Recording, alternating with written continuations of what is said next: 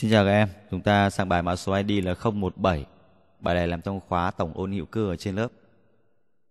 Sau khi mà chúng ta kiểm tra trên lớp rồi, thấy cần phải xem lại những bài nào, chúng ta có thể là vào những video này nhập ID vào để xem lại nó. Quay lại bài mã số ID là 017. Người ta cho hỗn hợp hai chất, cụ thể đây là hai este.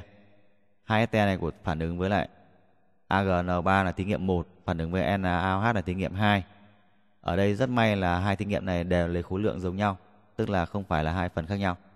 Do đó chúng ta không cần băn khoăn nữa rồi. Số liệu thứ nhất là phản ứng tráng bạc là 0,2 mol bạc. Số liệu thứ hai là tạo ra 9,4 gam hai ancol. Như vậy, thầy gọi x mol và y mol là tương ứng với hai chất ban đầu.